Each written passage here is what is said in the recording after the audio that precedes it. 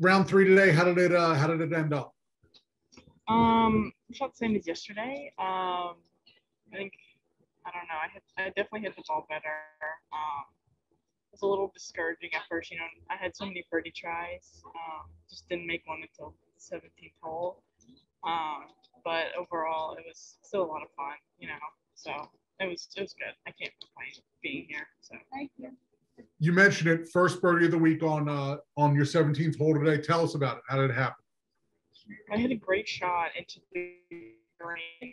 Um, I actually think it almost bounced in. That's what my dad said. Um, but it was it rolled a little past pin high. I had about a 12 footer, a little um, right to lefter, and um, I just I had a good line. I liked my line on that one, so I just trusted it, and I made it. So I was happy. Obviously, you haven't had a lot of time to reflect, but big picture, what do you think uh, you'll remember about about playing here, and what'd you learn?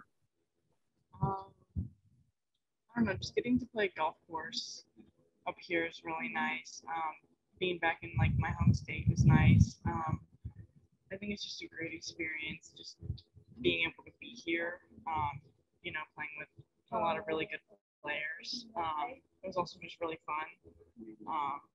So I don't know. I just it's just awesome being up here. So And and that's it. That's it for freshman year. Freshman year is over. From COVID to obviously the conference championship, was it was it what you expected or? No, not at all.